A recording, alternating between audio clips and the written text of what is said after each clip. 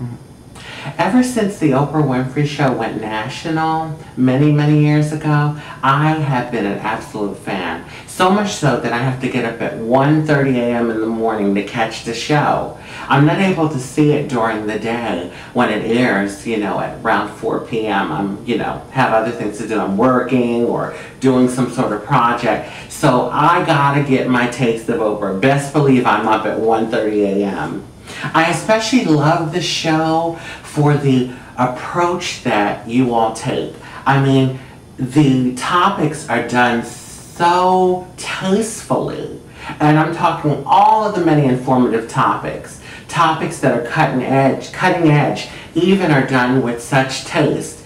And um, I really, really, really enjoy the shows on spirituality. Those are my favorite. Although there are many, many topics that you all talk about that capture my, my interest. Those shows on spirituality really get me though. Um, as a transgendered person, I have to say that I was quite disturbed with the derogatory approach that a lot of other talk shows would take when it came to covering the topic of transsexuality.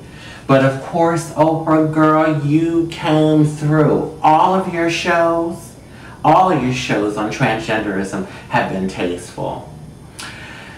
But you know what, Oprah? There's something more to a beautifully produced show. And that something is the spirit that you bring to the show.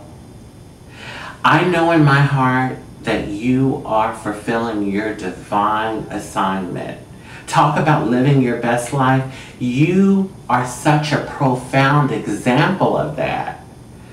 And I, I really think the Oprah show is a phenomenon. And I'll tell you why. What person in the history of the world has done what you've done with the talk show? I mean, it's just, it's just fantastic all the wonderful things that you've done, you've used your show to do to touch people all over the world. And believe me, you have touched this world. That is why when the day comes that the Oprah Winfrey Show ends, it will be a very sad day on TV. I will miss you and the world will miss you. But until then, I am going to stay tuned in. Best believe.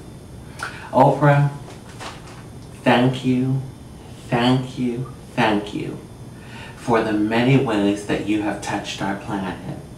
And thank you for the way you've touched my life. Love, peace, and blessings.